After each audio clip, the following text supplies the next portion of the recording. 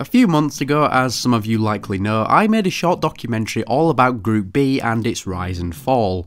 Briefly at the end I mentioned Group S. I'd advise watching the full video to get a proper breakdown of the subject, but in essence, when Group B was no longer viable to keep running because of the deaths of both spectators and drivers, FISA shut the whole championship down. Group S prior to this had been planned to be brought in in 1988 to replace Group B. Homologation rules were lessened where 10 cars were required instead of 20 like in Group B, as well as focusing on making it cheaper for manufacturers to showcase innovations. Ultimately however, Group S was axed along with its older brother and so it was left in history. But upon the Group S rules being written in 1985, albeit in a draft form, a lot of manufacturers jumped on board pretty quickly. They began building prototypes of these Group S racers, but of course when the championship was terminated, the prototypes became a lot more valuable than what they were originally thought to be. We therefore have a collection of Group S rally cars that never truly saw the light of day and are generally overshadowed by their Group B cousins. Today, let's take a look at these Group S cars and how they changed from Group B.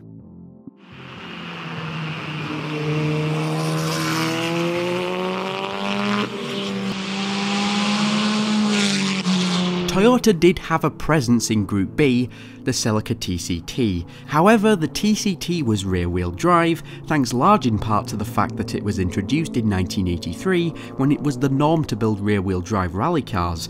When four-wheel drive became the norm in the next few years, the TCT faded away and isn't remembered that well. So when Group S was announced, Toyota wanted a fresh start and to turn over a new leaf. Enter the Toyota MR2 222D. This thing does look pretty similar to the regular counterpart until you take a closer look. For example the width, which is now much wider to encompass wider tyre sizes and for better stability. Plus, the iconic pop-up headlights have been replaced with traditional fixed ones, as well as the addition of rally spotlights which both improve aerodynamics.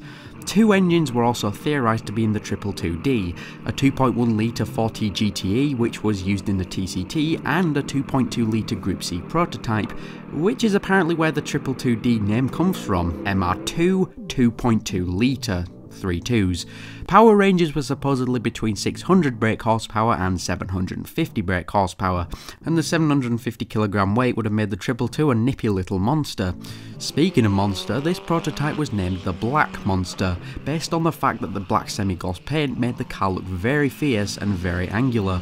11 were reportedly built, but with crash tests and other events taking their course, only 3 remain today, 2 black and 1 white. I'd take good care of them.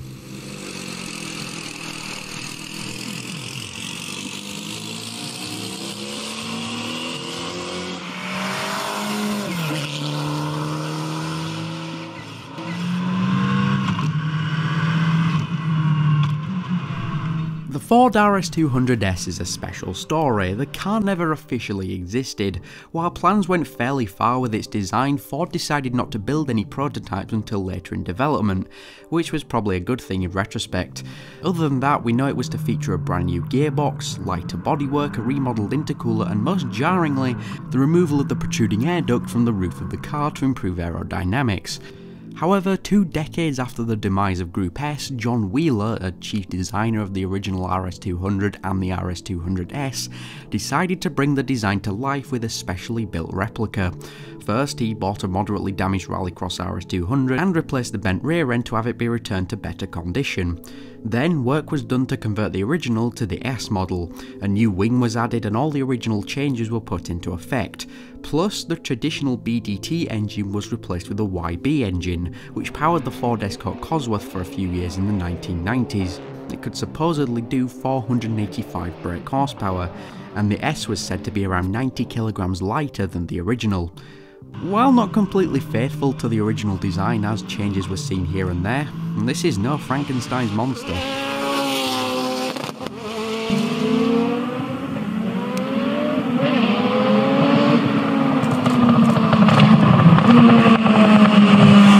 Peugeot was one of the most successful competitors in Group B, so it was a given that they would want to compete in Group S.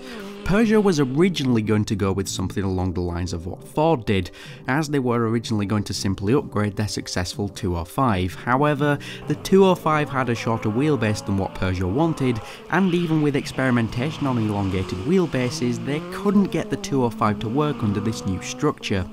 So they instead decided to take their brand new 405, which was released as a standard road going car in 1987. As well as having much better dimensions for what Peugeot wanted, building a rally version would make for some effective marketing. The team then adapted the 205 chassis and drivetrain for the new length, and the 405 prototype was born. As well as weighing a mere 880 kilograms, it also allowed for a larger fuel tank to be fitted. The 405 was much more versatile, the engine was also upgraded to a 1.9 litre. However, Unlike other Group S prototypes which met the end of their official careers along with the championship, the 405 T16 actually went on to compete in the Pikes Peak International Hill Climb and managed a victory. It also made multiple appearances in heavily modified forms in rally raid events, with much larger reinforced suspension and a larger fuel tank. It managed to deliver Peugeot two wins in 1989 and 1990 in the Paris-Dakar Rally. Peugeot was able to keep their T16 line of races in a competitive form for almost a decade, which isn't too bad.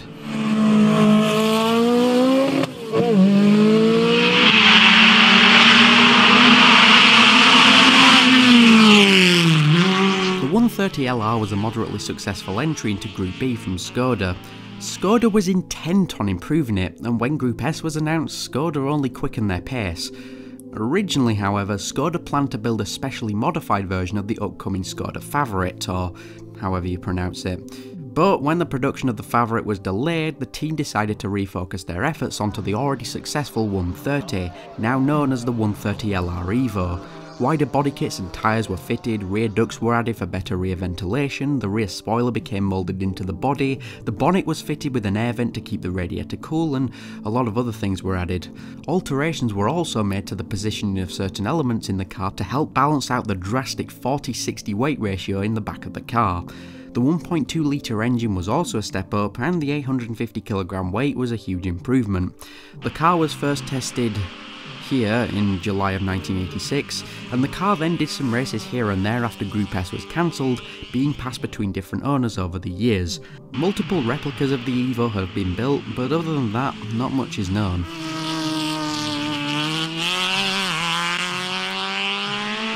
While these prototypes are all cool in their own right, there are two specific Group S cars that have become truly iconic, even outside of Group S.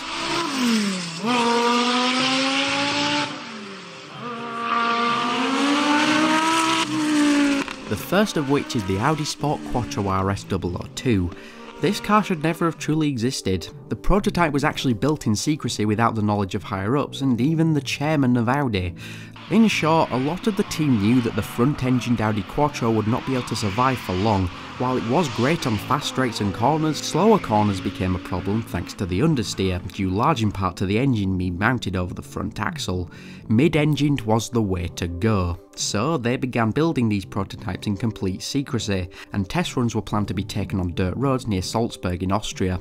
But when the press were tipped off, Audi ran for the border to find somewhere else to test the car. Supposedly, Audi's star racer, Walter Röhrl, could tell almost immediately that the mid-engine Quattro was much faster than the old one. Few pictures remain of this secret prototype. The most notable thing on the car, however, is the telltale ducts added to the side but the backlash meant that the mid-engine project had to be dismantled pretty quickly. But another prototype had been made. This one looked radically different to the traditional Quattro design, and three were produced. While one was destroyed and another one remains on static display in the museum, one is unaccounted for, which, from what I can gather, means that there's still one roaming in the wild. This prototype had very smooth styling and a freakishly large wing, and to many looked more like a Group C car, but that's not a bad thing. Then, for the 30th anniversary of the final year of Group B, the RS002 was restored and has since been touring, with Röhrl occasionally taking the wheel of the car he tested all those years ago.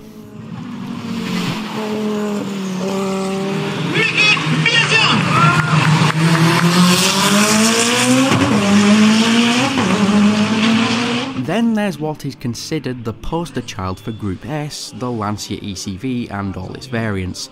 Even before Group B was banned, the Delta was undergoing major improvements to make it more competitively viable, upgrading the reliability and performance of the gearbox and engine, rebuilding the front suspension, shifting the centre of weight were all things on the list, but most importantly was the improvement of the aerodynamics, a particular fault of the original S4. Side skirts and a retractable flap under the front bumper were considered to be used, but when Group B was cancelled, the project, which was codenamed SEO40, was cancelled. But with the prospect of Group S, a new project was started called ECV, which stands for Experimental Composite Vehicle. A lot of the technical innovations from the previous project were brought over, and the resulting car was shown off at the 1986 Bologna Motor Show. Because of the 10 car requirement for homologation, Lancia was able to include some expensive innovations, with a large part of the body being constructed out of carbon fibre. The chassis, for example, also made large in part out of carbon fibre, was 20% lighter than the steel chassis from the S4, while being just as stable. It even supposedly used computer assisted design in its conception, a brand new technology which had only ever been seen in Formula 1 up to this point. The engine also saw some relative changes, with a design that had the turbochargers turn off at different speeds, so at low speeds only one turbo would be functional, but as the speed rose the second turbo would slowly kick in. This meant the engine would work well at low rev ranges and could do 600 brake horsepower. The ECV also featured the aerodynamics from the SEO40, with side skirts, a rear diffuser, single headlights, a roof spoiler and side scoops all making an appearance. The project was well liked and stayed pretty close to the original vision of Group S, a car that would show off the groundbreaking innovations in lightweight chassis and power. That's not all however, we have the ECV2. It had the same chassis and engine as the first ECV, but the body was wildly different, like what the RS002 was to the original mid-engine Quattro. Straying away from the sharp almost boxy designs of recent Lancia cars, the body featured a lot of curves and was much more compact. While they were revolutionary in the original car, when the second turbo kicked in the car had a huge boost of power which was supposedly uncontrollable, so the ECV2 had smaller turbos. However, due to the ECV2 having the same chassis and engine as the original, and to save cost by not building more, the first ECV had to be dismantled in order to build the ECV2. But on the flip side, a replica of the first ECV was built in 2010 using a standard Lancia Delta S4 Stradale, and now the two ECV brothers stand proud as a monument to Group S.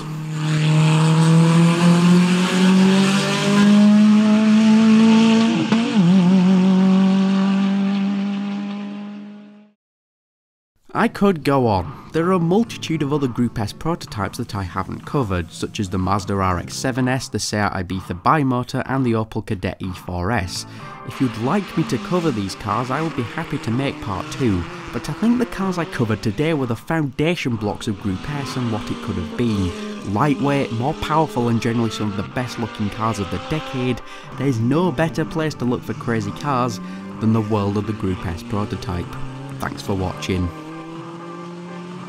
I'd also like to give my thanks to the Group B Shrine, a website dedicated to uncovering all of the details about Group B and Group S. Most if not all of the info presented here today in this video were from them, so if you'd like to learn more about any specific car you've seen in this video, or anything else on the subject, be sure to check them out. Thanks again.